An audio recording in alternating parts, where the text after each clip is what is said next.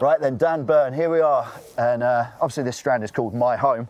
And this really is your home, and you don't just play here, but it's got real significance for you for your entire life. Yeah, I'm uh, born a Newcastle fan. I, I, said when I signed, I didn't realise sort of how die-hard we were um, until I thought back. Um, but yeah, we, we, first game I came out was uh, Peter Beardsley's testimonial. So I remember coming. I don't remember a lot of it, but um, and then since the season after, I had a season ticket. So I had a season ticket in the East Stand and came until I sort of started playing professional. Really feels uh, only appropriate as well doing something on St James's Park, Newcastle, that we get this weather. Obviously, both you and me. both you and I in big coats here, even though it's April. I'm dressed like Paddington Bear. Uh, you're in the warmest coat I've ever seen. Uh, how many of your memories do you think the days looked a bit like this? Fair, most of them. Um, I think that's probably why teams probably hate coming up here.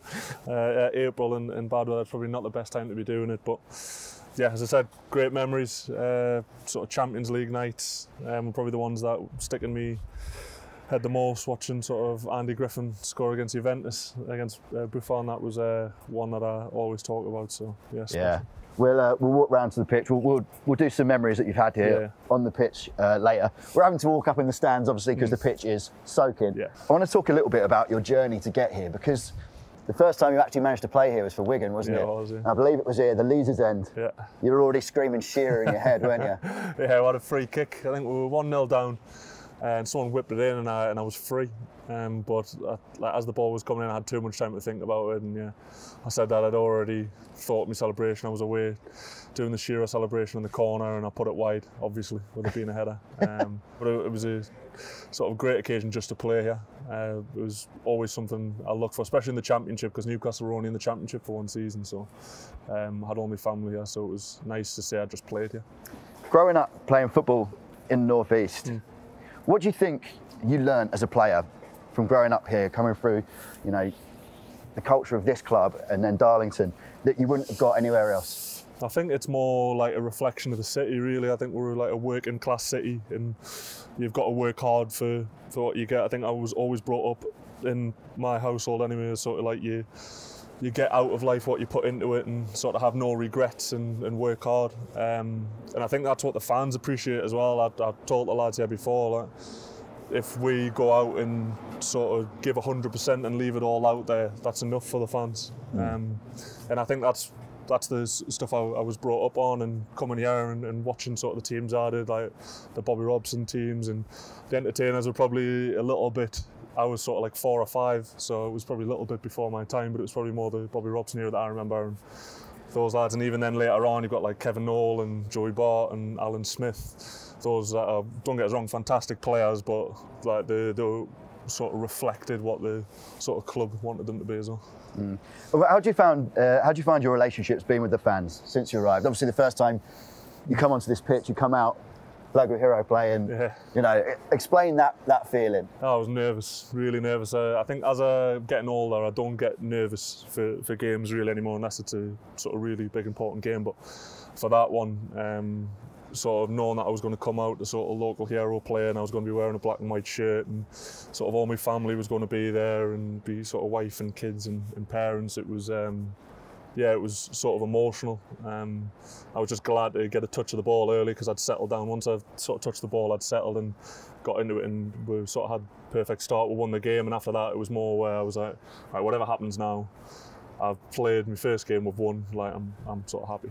Because I think your, your dad mentioned that when the takeover happened here, you said, ah, that's it. There goes yeah. that dream. I'm never going to play for Newcastle United. And then what? Two months later, yeah, it ends up works, happening. Yeah, strange. Yeah, I was walking my uh, dog in Brighton and we spoke about it because I think the takeover was being spoke about for years, and like I was sort of not holding my breath because didn't think it would come. And when I finally did, I was like, oh, yeah, I think that's probably my chance gone now because you always sort of hold that little bit of hope that it would happen, but.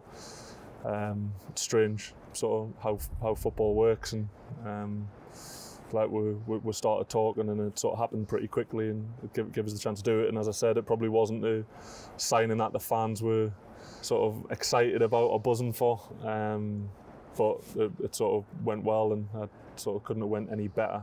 um, than it has really. So Yeah, I mean they're certainly excited for you now because you've got one of the best chants I think good, in the? Premier League. You picked up. You must be pleased with that one. yeah, I didn't think it would catch on uh, when I first heard it, but yeah, it is. Uh, it's great. It's just nice when the, you hear the sort of fans singing your name. Anyway, I think that's like, something special. I think a lot of times when you see players sign for clubs, they talk about the project, and I, I feel like it's one of those things where people in like a normal job, an office job, whatever, can relate to football players. It's one of those things you say in an interview, like, "Yeah, the project really excites me." It's just like, "Yeah, I need a change, and the money's good." When you came in here, could the project have been literally like a piece of paper with a smiley face on it, and you were like, "Yeah, Oh, it's good much. enough." Yeah. yeah, exactly. I was, uh, I said I was happy at Brighton. Uh, I loved, loved my time at Brighton. Now there wasn't another team I really would have left for apart from Newcastle. So, um, and then when it started happening, I was like, oh, that- it's quite exciting. And like the chance to be able to do it and sort of wear the black and white shirt was just sort of too good to turn down. I've said before, I felt as if it was sort of between like heart and head. I was at the time Brighton were eighth in the league, we were flying, and Newcastle were struggling. I thought I could sign for Newcastle, it could go horrifically, and I might never play Premier League football again. But as I said, once it happened, it was something that I couldn't sort of turn down that opportunity. We're obviously walking down the stand here. I think hmm. your seat was actually what just along the halfway line. So your seat was up there. Uh, S105, 106 was Yeah. the two seats you had. Yeah, great seats. Like they were, because it was in the smaller stand as well, like right on the halfway line. They were uh, they were great season tickets. Like loved them.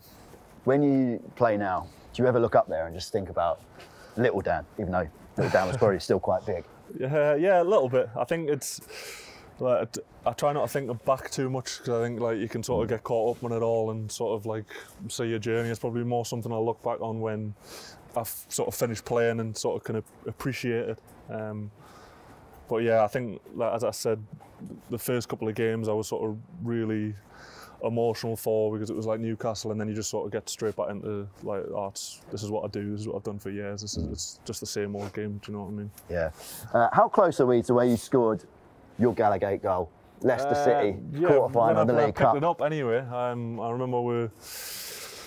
I think we've been pressing a little bit, and then they went long, and, and the ball come over, and there was just sort of a bit of a combination between me and uh, Joelinton and, and Joe Willock, and I took a great touch. Really surprised. took a great touch and another one, and then as soon as I hit it, I think it's yeah, goal scorer say it all, all the time, don't you? Like the second I hit it, I knew it was in, um, and it was that that sort of thing, and just I think the sheer shock on my face that I'd scored a right-footed goal in, in the Gallowgate, and I knew it would be like that. I knew it wouldn't be a header because it's never a header. It would always be, have to be something that was that was like that for for it to be a goal. And all my family, what I've got a box in the corner there at the Gallowgate, and that's where like me sort of wife and me kids and uh, my mum and all my mates sit, um, sort of do it at, at that end and, and be able to go and sort of celebrate in that corner was like it was hmm. amazing. Like I'll sort of never forget it. Talk to me about that Wembley run as well, because hmm.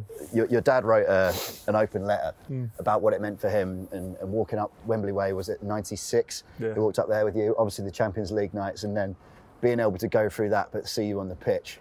How much did it mean to your your family and your friends just to have all those moments on the run? I know the final didn't go the way you would have liked it to, but so many special moments just on the way. Yeah, I think, and it was something that we'd spoke about at the start of the season. I think, sort of in years gone by, cup competitions have sort of been secondary to the league because we've always wanted to stay in the league. But at some point, that's going to have to change. We need to win something that's been so long for this club and as a fan base that we've we've not done that, and that has to change. So, the reason I think I probably loved Newcastle as much and wanted to play football was because I think my dad did, and you you want to sort of have that relationship with him, and you want to be as passionate about something as he is, and I think that's what's sort of got us into football, and it's the same that like not just my dad, me sort of my mum, my brother, my wife, all my friends. I think the I can feel sort of how proud they are that I'm I'm playing sort of for Newcastle. Like the day I, the day I signed here uh, on deadline day, even just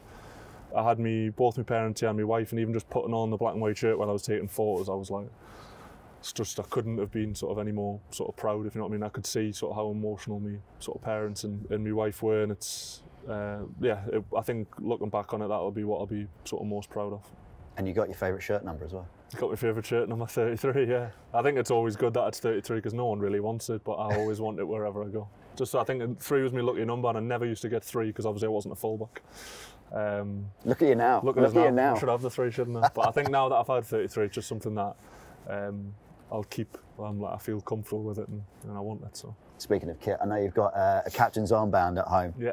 How long were you captain for? 5 1 win against Brentford, wasn't it? How, how long were you captain four or five minutes no probably 20 minutes or something so um, but yeah like as i said to watch Shearer growing up and see him be sort of count, captain of the club and, and, and lead the team out it's something that i wanted to do and i'd love to do it from sort of the start and have that opportunity we've got a leadership group so we've got a lot of leaders in the team and, and like, as i said looking back that'll be something I'm really proud of from where I started to captaining the team in the Premier League to playing the St. James's Park is an amazing achievement. How much have the setbacks motivated you? Because I, th- I think you like to prove people wrong a hmm. little bit, don't you? Yeah. And how much do you feel like just this last, what, season and a half now, you signed last January, so just over a year, how much do you feel like you've proven people wrong? Yeah, I think I've proven a lot of people wrong. I think I've said that probably fans were not disappointed, but um, they were probably after other players when, when I signed here. Um, but I, I love proving people wrong. I can sort of say it when I'm playing against players, knowing that they think that they're going to have the better. So I love always doing that, and I, I sort of thrive with that. When people doubt us, I always feel as if um, like I, I can can prove them wrong, and I have throughout my whole career. I think every time it comes to the summer transfer window, we're either bringing a centre back or a left back, and I always feel like I end up playing, um, and I'll sort of continue to do that until one day I'll not, obviously. One day in 10 years when you're on BT with Croucher. Exactly, yeah, yeah. So, um, but yeah, I think it's just something that pushes. I've, I know that I've been doubted. I think it's probably a lot of things. Probably the journey that I've been on, where I come from. Probably me height. People saying that I can't play a left back because of because of me height and I'm not quick enough and all that. But I still play week in week out, and um, I still think I give a good account of myself. So Well, Dan, keep proving people wrong. Thank you very much. Newcastle are doing it as well. It's been a pleasure. Thank you, mate. thank you. Cheers.